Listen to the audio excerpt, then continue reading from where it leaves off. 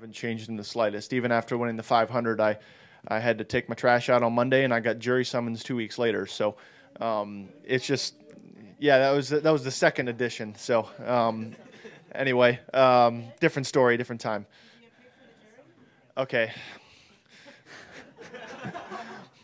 I got a deferral, and then I told them that they could send me one like from these are the weeks I have off. You know, I had Rogers' attorney send a letter and everything just to make sure, like, because I'm like, I'm this is the busiest week of my life. Just won the Daytona 500, and so they followed up and they sent me one in December. And yes, I had to serve on the jury for a week and a half in December on a criminal murder trial. But like I said, Guilty or not guilty? uh, very guilty. Um, so good life experience, horrible timing.